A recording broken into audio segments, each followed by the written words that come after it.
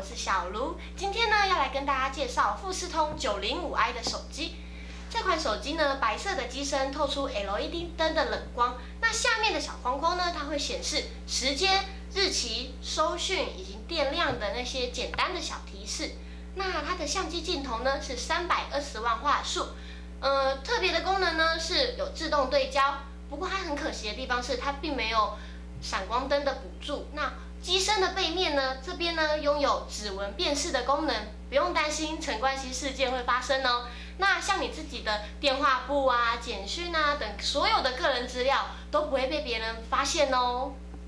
现在呢，让我来为大家介绍荧幕的部分。三点二寸的大荧幕呢，还可以一百八十度双向旋转哦。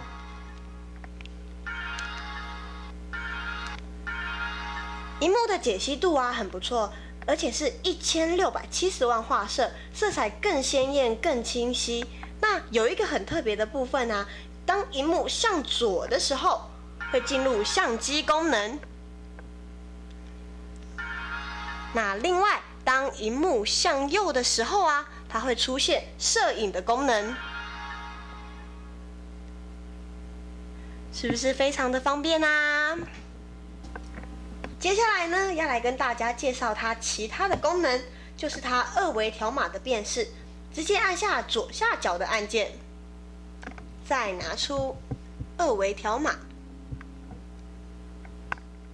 这样子即可辨识二维条码。不过呢，这个在日本是比较常见的啦，在台湾就不是很普及的喽。这只手机呢，三点二寸的大荧幕，让我在看影片的时候啊，感觉都超棒的。那它最特别的是，荧幕双旋转的功能，真的是非常特别的。很可惜的是，现在啊只有白色的机款，它没有任何颜色。那不过没关系，像日本当红啊木村拓哉都有了，我怎么可以没有呢？